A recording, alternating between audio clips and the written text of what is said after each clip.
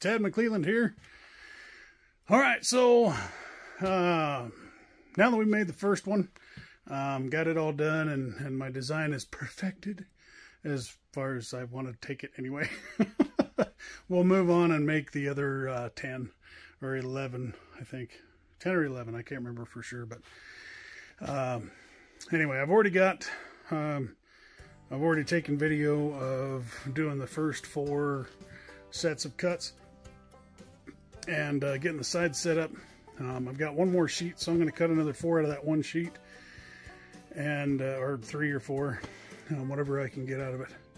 And uh, um, yeah, we'll get that all cut out and um, and possibly get some more cleats put up. Um, maybe not in this video, but maybe in another video. I want to finish this wall. This wall has has no cleats on it, and of course I want pretty much every wall in in the shop to have cleats. Um, it it makes storage so much easier and movable. So there's there's one of them that's done. My video. See me waving at myself. Um, anyway, yeah, so everything that's on that wall is on a cleat system, so it makes it real easy to move around, reorganize, change things, um, and nothing's really permanent. Of course, I'll, I'll finish out that wall as well, and eventually I'll get my dust collection system hung up too. I have two dust collectors, um, and I will be setting it up to where one of them is primarily for the table saw, and router when I get that bent and when I get that made um, and then as well as the two workbenches or three workbenches that are going to be right behind me right there um, which aren't built yet so that's another video we'll have um, on down the line um, I've got a lot of stuff planned and and uh, um, designed just nothing nothing come to fruition just yet but uh, at least not not yet it's getting there so got to make a little bit more room on the floor um, I'll kind of show you the state of things re real quick. It's it's a mess. So I've got that's part of the reason why I want to get these Husky things put up and hung is because my my floor is just full of stuff and there's some more stuck in underneath my shopsmith over there. Um, yeah, working toward getting a little bit more organized before I start building my workbenches because um, that's a pretty big project. Um, I think I'm going to have four or five identical workbenches um, that can be attached together and leveled independently and so on and so forth. Um, it's pretty involved. It's going to be a couple of different videos, I'm sure, but uh, we'll get there. Anyway, so now I'm going to continue to um, to cut out the rest of those boxes or parts for the drawer system for my Husky stackables. And um, um, and then I'll probably do another video of actually putting them all together. So here we go. Alright well we're starting off with a new mic hopefully you can hear me better than you could in the last video. Just uh, right now I'm just cutting the cleats and the sides and back and front for the drawers. Any pretty much everything out of three quarter inch. And just set up with the 40 degree angle for my cleats. I chose a 40 over a 45 no particular reason uh, wouldn't go anything less than a 40 really the 35 is it works but as long as you're not hanging out too far from the wall um, has a tendency to kind of sag away if it's too far out. I'm using this uh, miter gauge here just to cut the cleats to length. I don't typically use it for anything that has to be uh, very accurate. It's kind of loose on the table. I need to build a box, but haven't. And now I'm cutting all half inch material. Or starting to. This is the sides and sides, back, bottom, and the drawer bottom for each one of the boxes.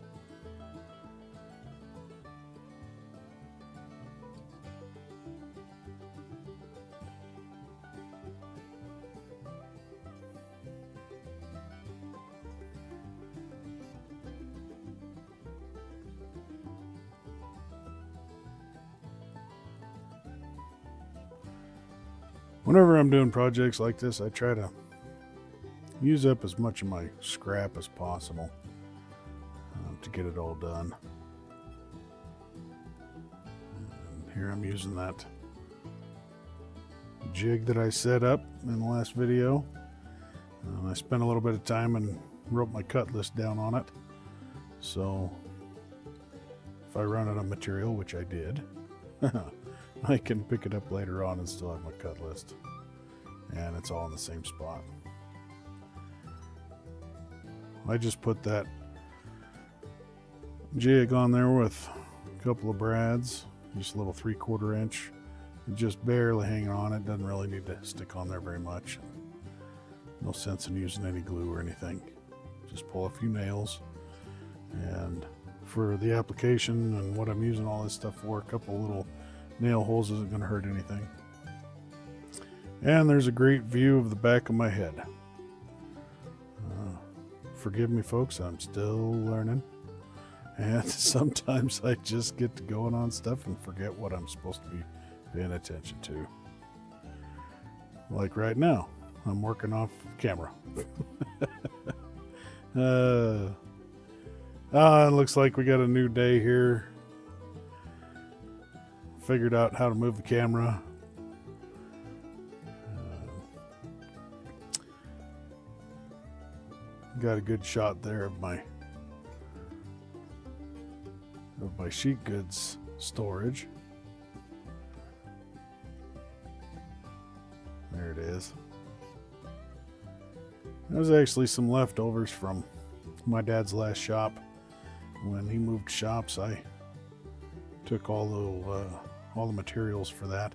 He had it set up to where it was uh, so the sheets would stand on end, and which was great for his shop. But for mine, um, it just seemed more economical to lay it on its side and and be able to lay them down and um, definitely a lot easier to maneuver maneuver them around in the shop. Um, and I was able to put some more storage bins on top of that for two bys and cutoffs and so on.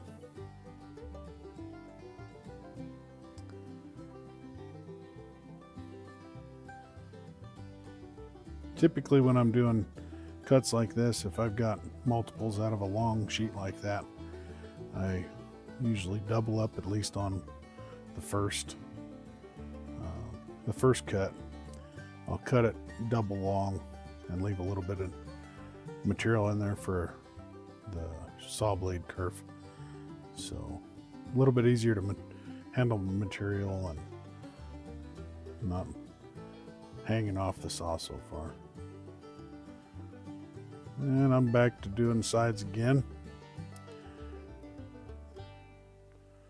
Just put a single hole right through the middle of the handle there instead of using a jigsaw to take out some of the material. If it would have been more material to take out, I would have spent a little bit more time. But for for as much as there was, it was just a waste of time, and not that much of a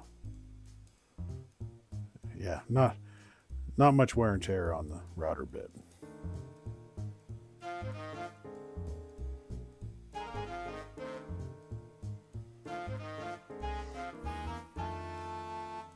And there's a little quarter round router bit to finish off the edges. I decided to do the sides before I put everything together just because there was so much more that needed to be routed on there. Here I'm cutting the fronts, the backs, and sides for the drawers.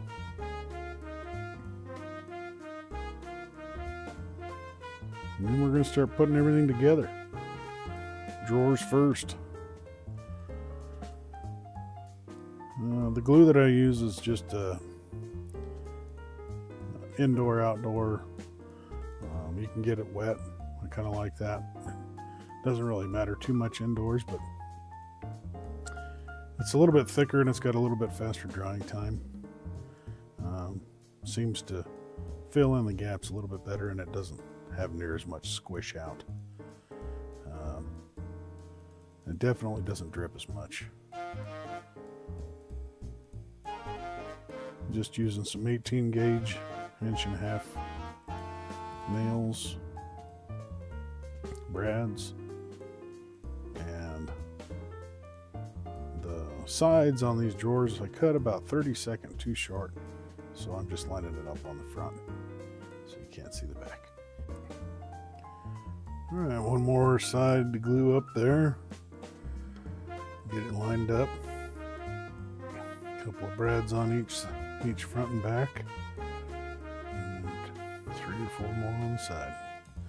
Nice and strong. All right, well, we'll speed it up and get through the rest of those drawers.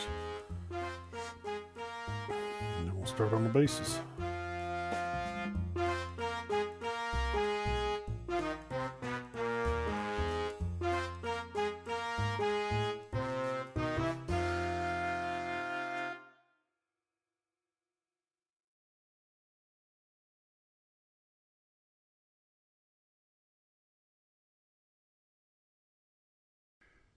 Right, well, we got all the drawers built. Um, that's what I just got done putting together.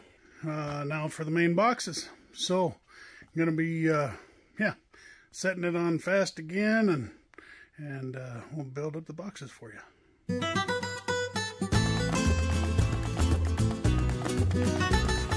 I just want to take a quick second here again and uh, apologize for the camera angles. Uh, yeah, I probably should have done a couple more test videos. Anyway, we'll uh, we'll get that fixed in the future. It's a little bit a little bit different working in the shop than on my on my uh, leather workbench, where it's pretty easy just to set the camera in one spot and let her go. And uh, anyway, yeah, we'll uh, we'll move my camera camera around and get some better better views for the next next videos that uh, that I haven't filmed just yet. But again, just bear with me. I apologize. We'll get her better in the future.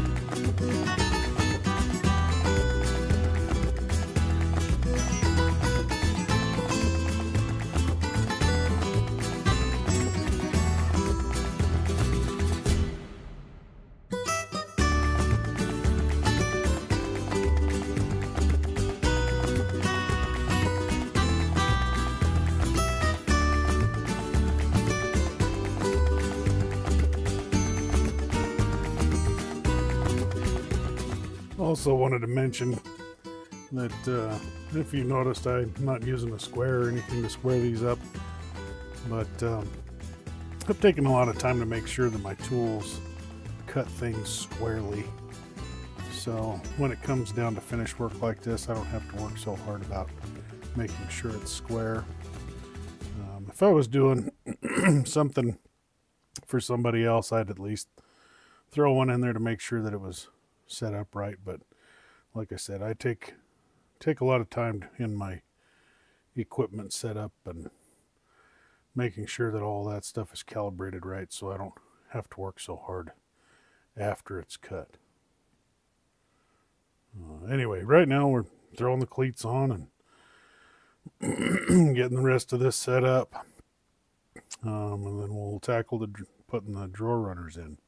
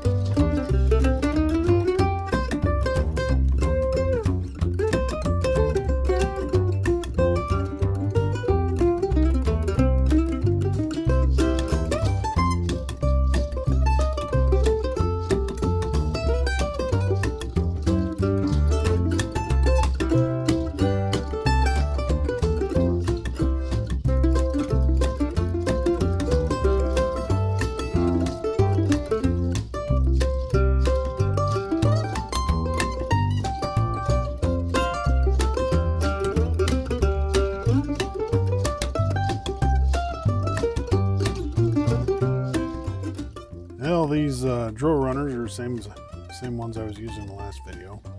Um, just some run-of-the-mill Amazon orders type of stuff. I've used them before. They're not uh, they're not the best, but the price is right. If I've got to replace them after working in the shop for years, then it won't cost me that much. These first couple I'm doing are the ones with the dual drawer in them. First one that I put in, for some reason it got fouled up trying to get that bottom drawer pushed in and it knocked out two or three of the ball bearings. So that took me a little bit of time to fix it. But that's what happens when you buy cheap stuff. You gotta fix stuff. Of course, it happens when you buy expensive stuff too. You gotta fix that before you use it too sometimes. Anyway, it's a good thing we know how to fix everything, right?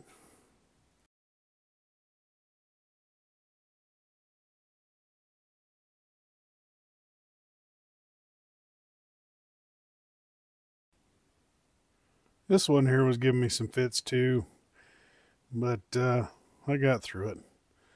Uh, just about to wrap this video up. Um, appreciate you guys watching, and uh, I hope that your struggles are easier than mine are with this last one. uh, but it all works out in the end. There we go. again, thanks for watching, and we'll see you next time. Mm-hmm.